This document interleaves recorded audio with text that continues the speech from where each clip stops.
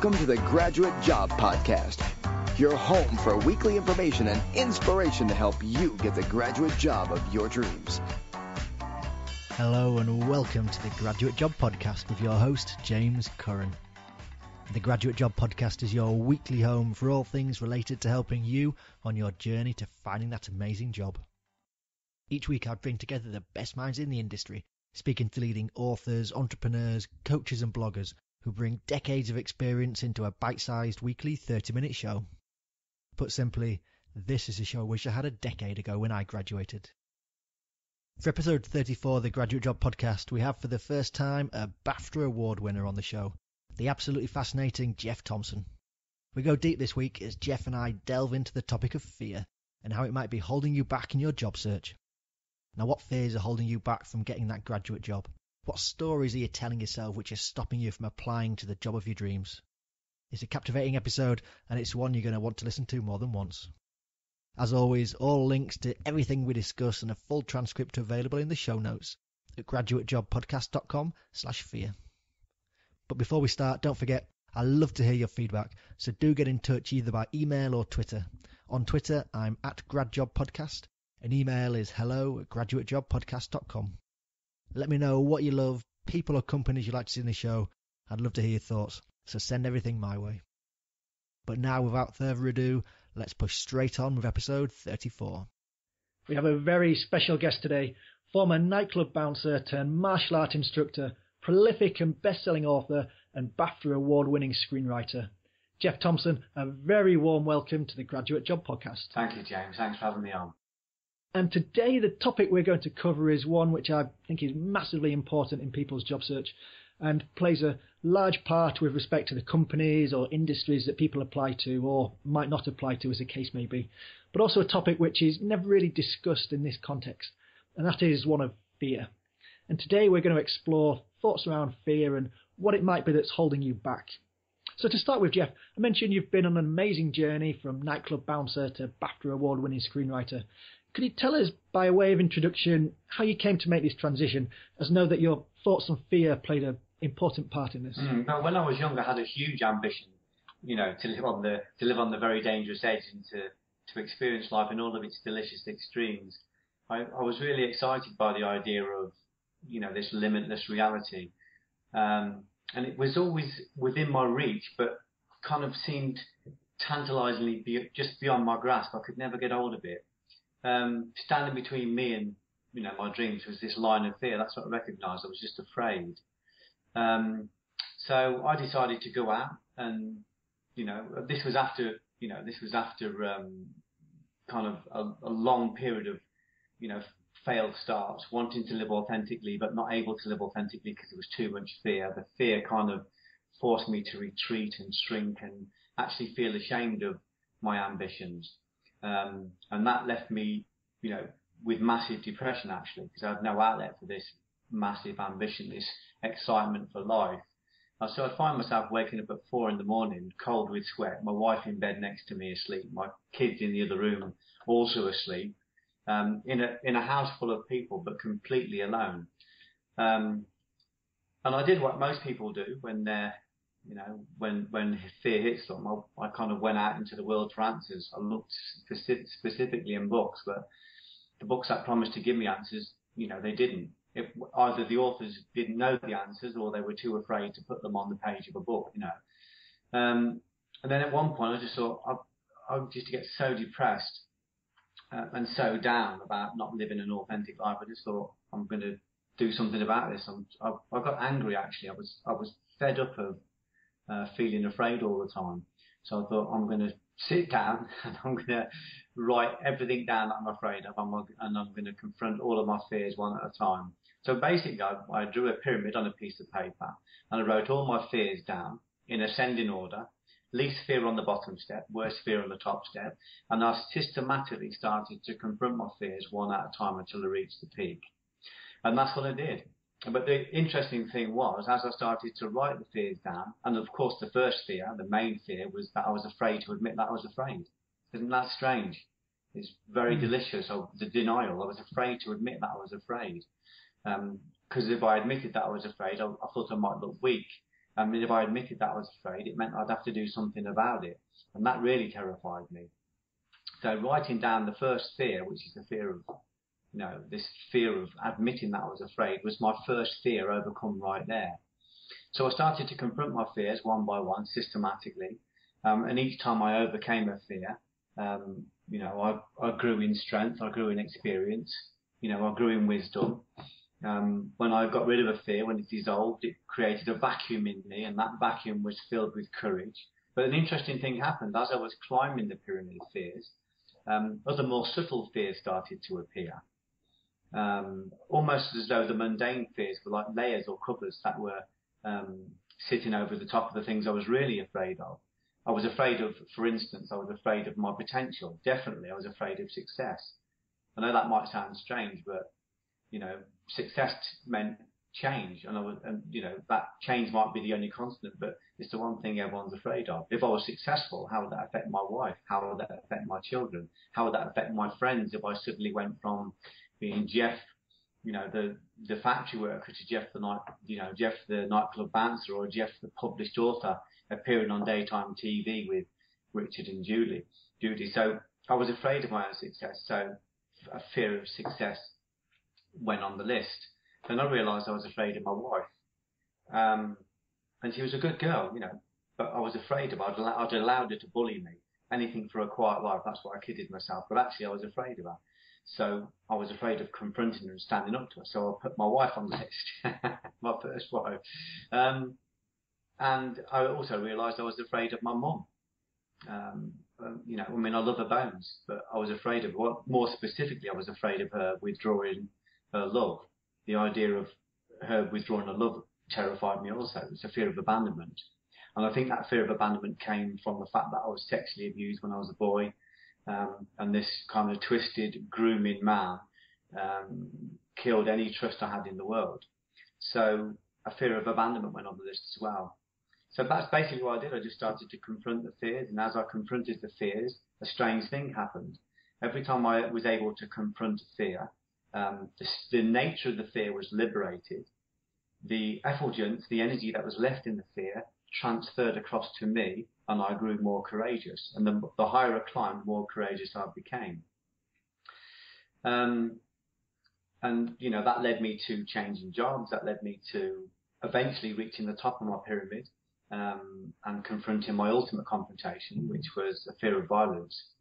Um, and of course, I did the only thing you can do when you have a fear of violence. Um, I took a I took a I took a job as a nightclub bouncer in the most violent city in Europe with size and population. Believe me, working in Coventry was like traversing all nine circles of the inferno. Um, and then within a very short span of time, within a decade, I guess, um, you know, I was in hundreds of fights. I was, I witnessed violent, thousands of violent situations. Four of my friends were murdered.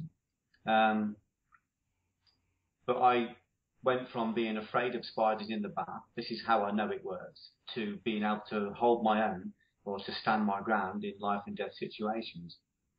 Uh, so, you know, when people say, you know, we need something pragmatic, we need something that's actually going to work, me doing my fear period and confronting my fears actually worked for me. You know, it took me from being a frightened factory worker to working on the on the world stage, you know, with film and theatre and books. And one of the things I promised when I was going through this, one of the things I promised, I made a promise to myself. I said that when I find the truth, because the truth didn't seem to be available, nobody wanted to talk about fear. But I said, when I find the truth, I'm going to tell people. I'm going to tell people in books and articles. I'm going to tell people in films and plays. I'm going to tell people in talks. I'm just going to tell as many people about the truth, about what I found, that what they want to do, what they want to achieve is possible. It's all possible. My life is the proof of that. You know, I, I make my living as a writer. Um, I live with the girl of my dreams. Um, I go to work in my slippers. Um, you know, I'm, I am living on that dangerous edge. I am ex- experiencing life in all of its delicious extremes. You know, I have, have coffee at two in the morning with my heroes. It, so, and, and also, people actually don't do the obvious thing. They think that certain things aren't possible. This is possible for them, but it's not possible for me. You know, they have limiting beliefs, but you only have to look outside of the window at the vastness of the universe to see that anything's possible. Everything's possible. But to, in order to um, in order for us to prove that it's possible, we have to have the courage to stand in front of the things that we're afraid to do. We have to kind of stand in that line of fear, and we have to become the proof ourselves. So that's my life is continuing. My is continuing to do that, continue to expand.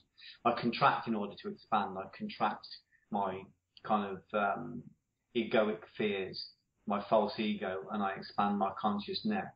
I just want to experience all of my potential. And if there's a fear standing between me and my potential, then my job is to dissolve that fear. And the way to dissolve it is to stand in front of it is yeah. to marinate in it, you know, to, to, embrace it, to intercourse with it. Um, so from from a distance, you know, these these spheres look like three dimensional monsters, but when we get closer to them, they become two dimensional cartoons, and then they dissipate and when we embrace them. So I just encourage people to be very brave. I think it's really interesting that the the first fear that went on there was the actual putting on that you were actually scared. Because yeah. just thinking to conversations with friends, I don't think I've ever had a conversation with a friend where they've actually said to me, "I'm quite scared." Yeah. As a as a bloke, it's just not something that you you really talk about or talk about or mention. And also the you know I can um, talk about fears and, and it's strange. But before I actually emailed you, I can remember I was almost had a fear of you know getting in touch and reaching out. There was a little voice on my shoulder going, "Oh well, you know he's not going to reply." Yeah, who am I? Yeah, who am I to ring to write to Geoff Thompson? Not not realizing that I'm just the same as you. I'm an ordinary bloke you know, uh, and I live an extraordinary life, but that's what we were encouraging everybody to do. The good thing, the thing with fear is that, of course, it tricks people into believing that they're the only person in the world that feels this scared. Mm-hmm. I love the story of uh, Messner, Reinhold Messner, the legendary climber, when he got stuck on the inhospitable mountain Nanga Parbat. He was uh, too afraid to go up. He was too afraid to go down. He was too afraid to stay where he was. And that, at that point on the mountain, he was afraid to live.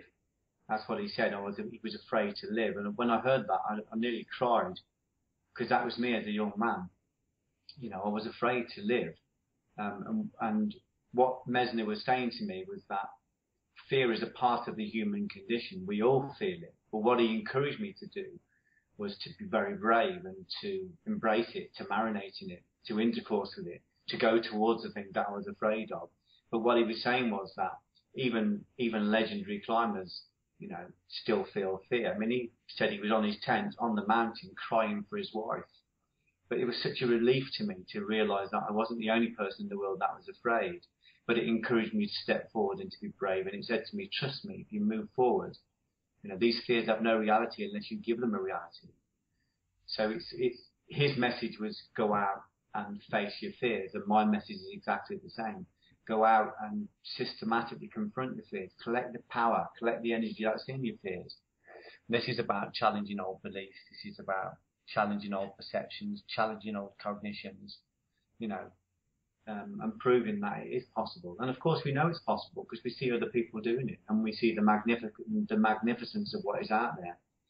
But I love the idea that Messner is one of my heroes was afraid. I love the idea that Christ was afraid in the garden. I love the idea that Muhammad was afraid on the on the mountain. I love the idea that Arjuna was afraid in the battleground. And, he, and, and Arjuna didn't transcend the battle from a classroom. He transcended the battle from in the battleground. So we have to be inside it. We have to have the courage to sit in it. And, it, and there is nobody that it doesn't challenge. But people like me, you know, I'm, I'm here to say to people, what you're aiming for is possible. It's possible. It's all possible. And I'm the proof because I've gone through that door. It's not easy and it's not even probable because most people won't do it. Most people won't want to face those things, but it's possible. And I try and encourage as many people as possible to actually, you know, to look at that. You know, people that have worked with me have suddenly doubled their income because they've gone, well, I'm going to try for that job because I didn't try for it before because I was afraid.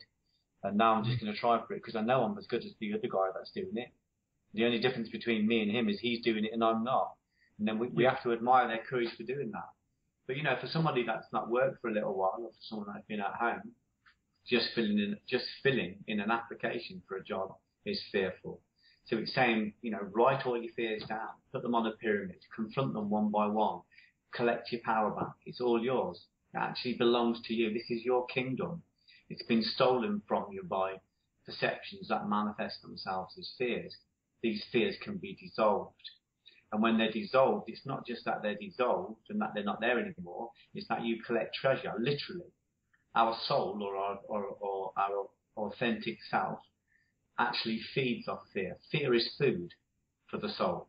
So when we go towards something that we're afraid of and we face it, our authentic self grows off that. It's like um, it's like protein powder for the soul. so it, it's it's um, it's encouraging people just to change their perception of what fear is. It feels as though it's this three-dimensional monster. It's actually not. It's just a fuel bank. It's just an old chatter that can be converted into expendable cash. I know looking back at my career moves that I've made, and when I finished university, one of the there's a couple of companies that I was really interested in applying to, but never actually got around to applying to them, just because my thought was well, I was scared to apply, maybe even for the fear of success. But I just thought, oh well, there's no point applying because you're not going to get in. I was fancied being a spy with MI5, but never actually sent off an application because I was, as you talked about, limiting mm. beliefs. My limiting belief was that you know people from where I came from, you know, didn't work for MI5, and what's the point in even applying? Mm. People people fail before they even start because they have they have belief that it's not possible, or certainly it's not possible for them. But actually, it's, it's possible for everybody. One of the big things I've learned from being exposed to consciousness and being exposed to to the Tao or to God is that it's all possible. Everything is possible. In in Christian theology, they call it realized eschatology. They say that everything is already yours. Everything in the universe is already yours. You've just forgotten, or you've just lost lost the access key, or you've lost the code. So our job is to go towards the things that we want to achieve and recognize that they're already there. They're already ours. They're already possible. And we know they're possible because it's already been done. Other people are already doing it.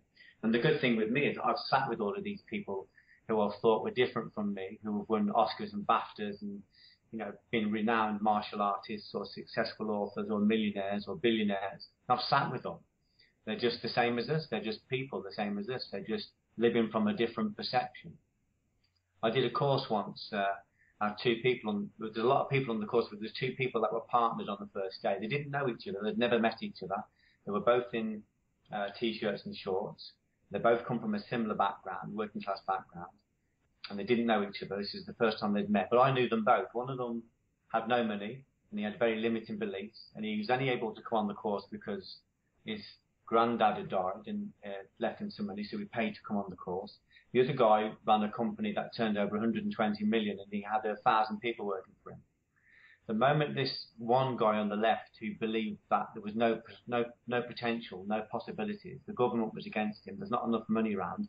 The moment he partnered with the other guy, those beliefs disappeared because he could no longer hide in those beliefs. Those beliefs were, were quite convenient. They were very subjective. But when he was suddenly working with a guy just like him, in in t-shirt and shorts, who was turning over 120 million and saying to me, I don't even feel like I'm touching the sides yet.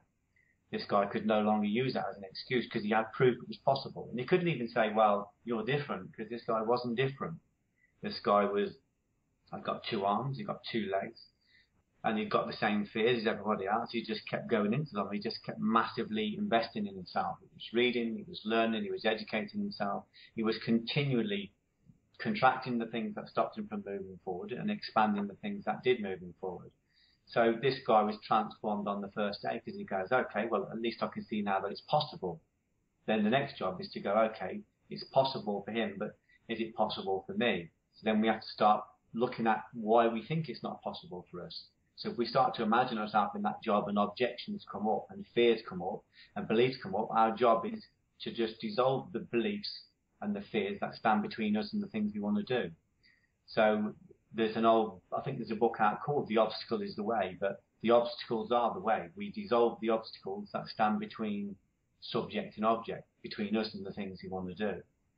So um, it's all possible, um, even if it's not probable. And when I say that, that's not a negative thing. It's saying that it's possible for anybody that has the courage to stand between, to stand in front of the things uh, they're they're afraid to look at, which is the old the old limiting belief, and they call this deliberate suffering. We deliberately stand in front of the things that make us feel afraid, And it might just be that our background is that um, you know, we've grown up in an environment where, you know, like a tabloid environment where people kind of say, don't get above your station, don't forget where you come from. Who do you think you are? Don't get above yourself.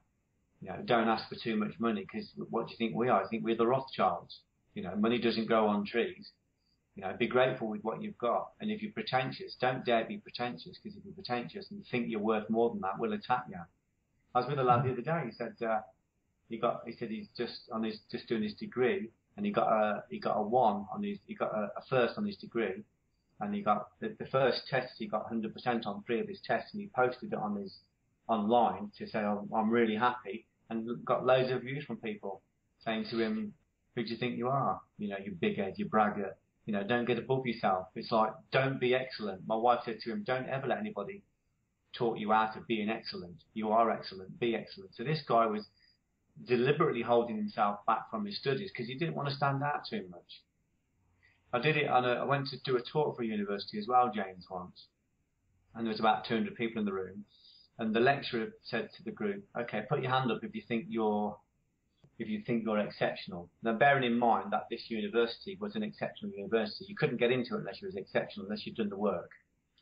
Um, I think one person put his hand up and he was hesitant. He said, okay, put your hand up if you're ordinary. And nearly 200, 200 hands went up in the room. 200 people that thought they were ordinary. And they didn't think they were ordinary. They knew they weren't ordinary, but they were too they were too afraid to stand out. They were too afraid of what people might think about them. One guy actually put his hand up and said, "I think I'm below ordinary." so that's people are afraid to say, "Yes, I'm good at this. Yes, I have got this potential. Yes, I can do this." Um, because if they do it, they feel like they might be attacked. But I've experienced the soul. I've experienced the authentic self, and it's it's vast. It's vast. There is, there is there is nothing that will contain it. There's no limitations. But that, if we want, if we want to exercise that authentic self in the world, we need full expression. And people are afraid to fully express themselves in case they get shot down. And this starts with, of course, what they call the great jihad, the internal wrestle, where we go, oh, I'm going to do this. And then this voice goes, well, who do you think you are? You're not anybody. You're no good. You can't do that. You're nothing. And we believe that because we never challenge it. But that's just an old chatter. That's an old belief. So our first job is to is to admit that we're afraid, and then to challenge those fears. Not just to challenge them, but to to recognise that fear is food. When we confront those fears, when we intercourse with those fears, when literally when we embrace them, when we sit in the feelings, we can transform that energy in that we can we can um, liberate the fear, we can get rid of the fear, and the energy that's locked into the fear, we can gobble up. We can use it as a protein, and that will expand our authentic self. And each time we do that, we become more powerful. This is what the Mexican shamans did.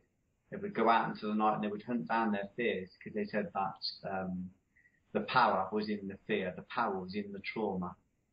Uh, Rumi called it night traveling. We go out into the night and we hunt down our fears because the doorway to potential is through that. So it's kind of trying to get people to change their perception on, on their fear and just say, don't believe anything.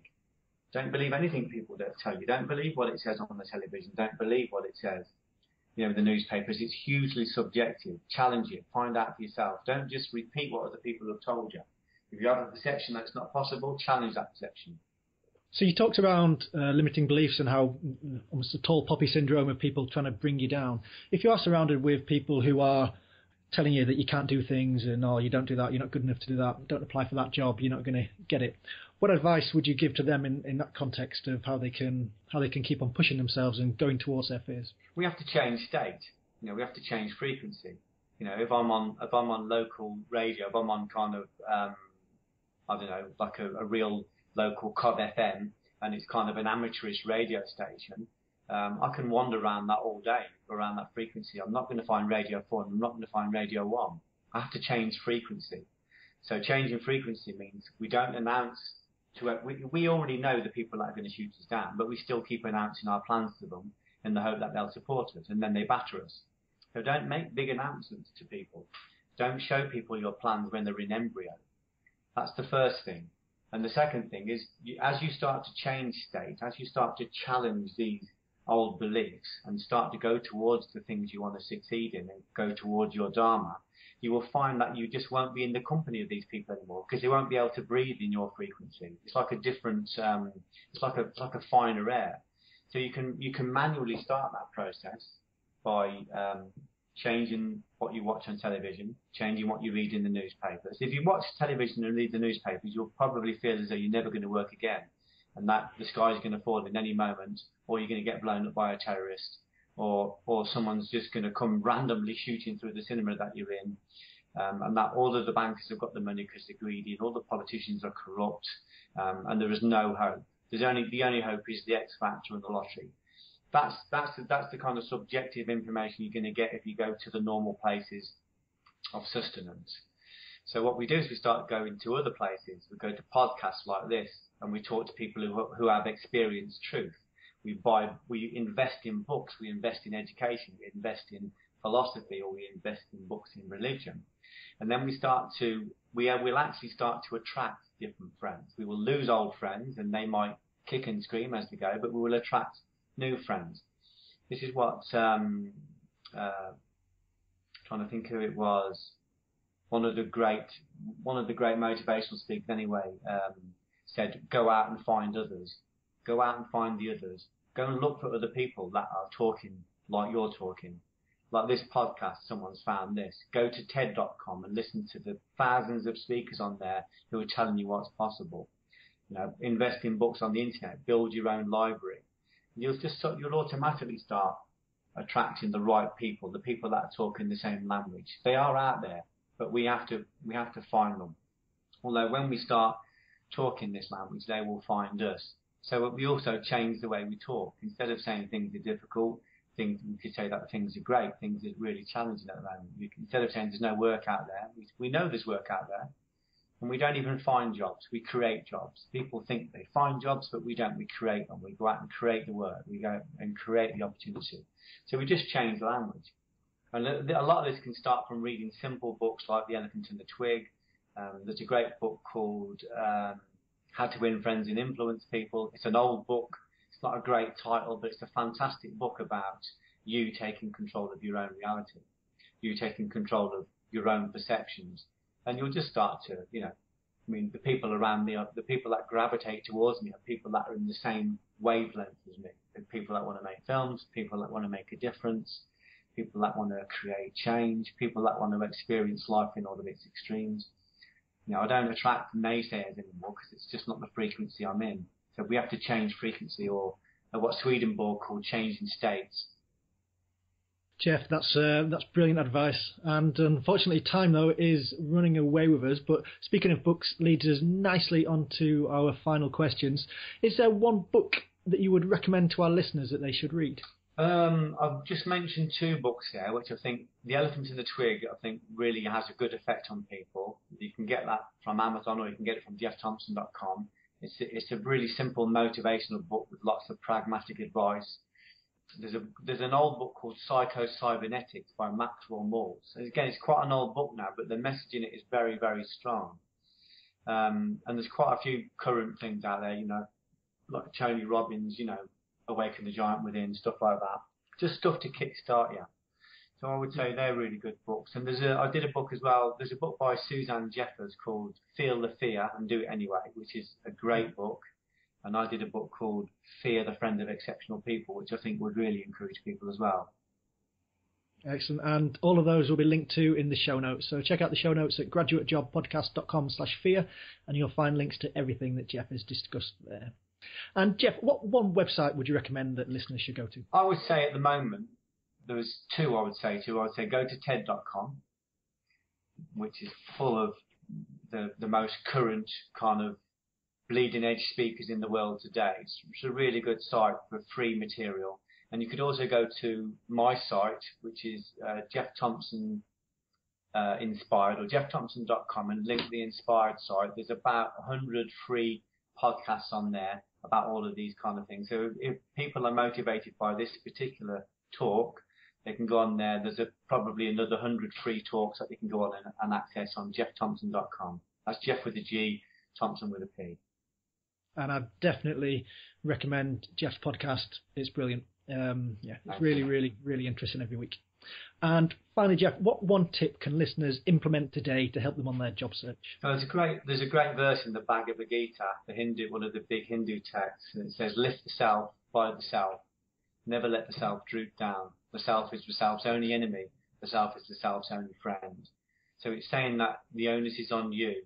You have no enemies other than the enemies you've got in yourself, your own beliefs, your own perceptions. Um, and the only friend you have is yourself. When you are balanced and aligned within yourself, you'll see that reflected in the world around you, as within, as without. Geoff, that's a brilliant, brilliant point for us to finish on. Many, many thanks for joining the Graduate Job Podcast today. It's a pleasure. Firstly, thank you to Geoff. I'm a big fan of his podcast, and it was an honour to have him on mine today. As always, I've picked out three things that stood out for me. The first is on acknowledging your fears. I love Geoff's comment that fears trick you into thinking you're the only one who's afraid. As I said to Geoff, men I know aren't open to actually talking about their fears. Now, that might just be my mates, but I doubt it. Have an honest conversation with yourself about what it is that you're actually scared of. Is it applying to the companies, the interviews, assessment centres, networking, getting up and doing a presentation in front of people? Is it the fear that you won't get the job? Is it the fear that you might actually get the job but then not be good at it? Or that you will get the job and you'll be amazing at it and a huge success? Now, different people have different fears. The first part, though, is acknowledging them with yourself. Which leads me on to the second key thing for me, in then having recognized fears to begin to confront them. I love Geoff's fear pyramid as a tool to record them and tick them off, and the idea that fears dissolve in front of you when you confront them and then become food for your soul. I know that often when I've been fearing something and putting it off, when you finally pluck up the courage to do it, you look back and wonder what all the worry was about. Protein powder for your confidence, he said. So one, recognize those fears. Two, record them and then confront them, which leads on to point three. The third point for me was on challenging those limiting beliefs of what actually is possible.